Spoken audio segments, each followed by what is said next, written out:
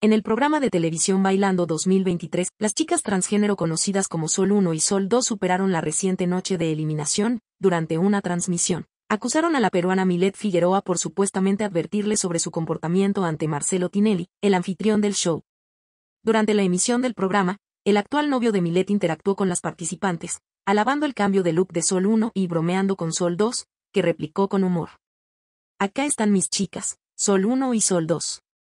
Primero quiero decir, muy lindo el corte de pelo de Sol 1, fue el elogio del presentador a las mechas rubias de la joven. Ella ha hecho un cambio impresionante, ¿te gusta tu mujer así? le preguntó Tinelli a Sol 2. Como se sabe, ambas artistas son pareja. Sí, ¿me quieres peinar vos? le replicó, a lo que el argentino respondió inmediatamente, yo te peino, pero... Te iba a decir una barbaridad, pero mejor no. Al notar que dirigían su mirada hacia Milet, situada en la sala de streaming, Marcelo preguntó el motivo, a lo que Sol 2 indicó que Milet les había dado ciertas prohibiciones.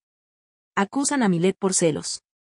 La tensión aumentó cuando Sol 2 afirmó que Figueroa les había prohibido darle besos al conductor y reconoció haber modificado su comportamiento a raíz de esa advertencia. La situación se tornó tensa cuando la modelo peruana intervino, instando a las participantes a no mentir y señalando que había pedido solamente que se comportaran. Sin embargo, Sol 2 admitió que habían limitado su comunicación con Marcelo debido a las indicaciones de Milet. ¿Por qué la miran a Milet? quiso saber el presentador, al descubrir a la Sol alzando la mirada. Es que Milet nos prohíbe darte besos, afirmó Sol 2, ante la sorpresa del estudio.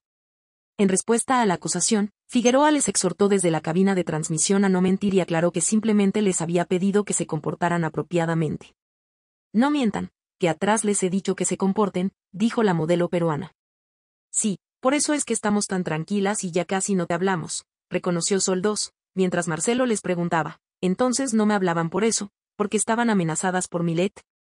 A pesar de la negativa inicial, solo uno admitió que no se trataba de una amenaza sino de una aclaración, revelando las exactas palabras de Figueroa, me dijo, te besas a mi novio, y voy a tu casa y te revuelco de los pelos.